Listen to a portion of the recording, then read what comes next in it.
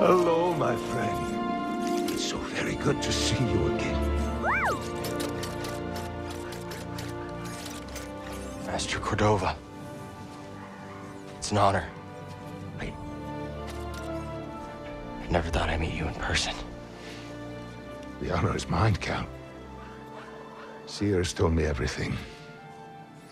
You have demonstrated great bravery and wisdom in the face of overwhelming adversity. You chose well? Well, I wouldn't go that far. The Empire has claimed the ruins. We'll have to find another rendezvous point. Unfortunate. But at least the storm covered your tracks. Come. Come, let me escort you inside.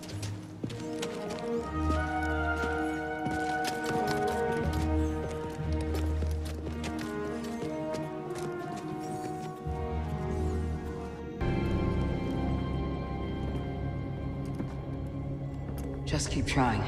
It's not like Brother Armai has to break contact.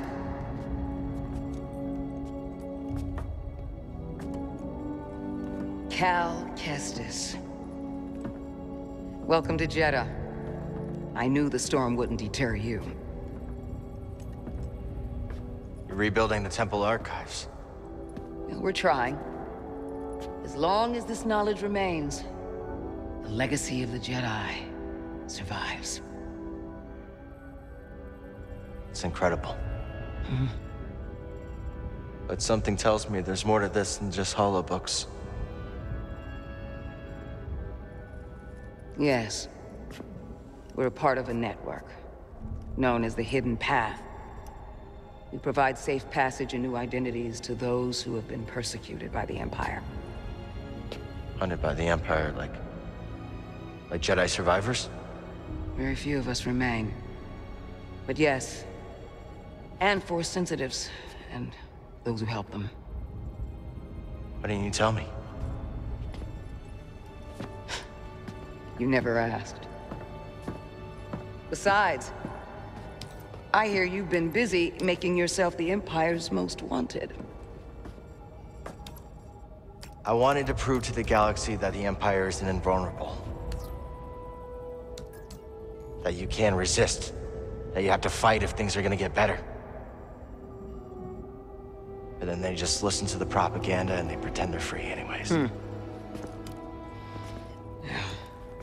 You chose a hard path. And it hasn't made a difference. Well, while the Empire's trained its eyes on you, we've been able to build the network. Find allies. And save lives. When you left, I thought you'd just given up. Was wrong.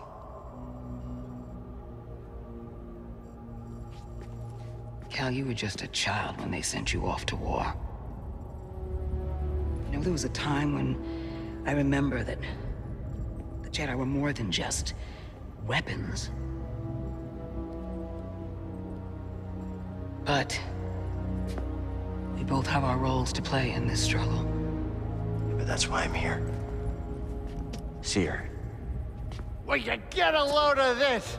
Hey, Cere, you can't say it ain't short on personality, but kind of creepy though. Well, it's good to see you two, Greez. well, hello, BD. Okay, okay, okay. So, how was your time in the desert? The storm covered our tracks, but the Empire destroyed one of your speeders. It's a small price to pay for everybody's safe arrival. And who's this? This is Bode Akuna. He's a friend. It's so nice to finally meet you. Uh, this hunk of trouble. hey, we're all together. Huh? Yes. Now, what brings you all to Jedha? We're searching for a lost planet. Tanalor, you ever heard of it? It's on the other side of a deadly nebula called the Koboh Abyss. Well, our archives are far from complete, but I'm sure Master Cordova's up to the task. With pleasure. The trouble is, we're not the only ones looking for this place. I knew this was sounding too easy. Guy's name is Dagan Gera. He was a Jedi. Now he leads a band of raiders on the Outer Rim. There's an old temple there. Dagan intends to reclaim it. A Jedi temple out of the reach of the Empire could mean that there's information there that we don't have in the archive. I believe I have something. Oh, you're too kind, BD. I'll start with the bad news. Oh boy, this guy knows his audience. I found no information related to crossing the Koboh Abyss. However, I found two mentions of this Dagan Gera. He had a retreat on Koboh, and records show him frequently visiting a laboratory on its moon. Okay, we'll check him out.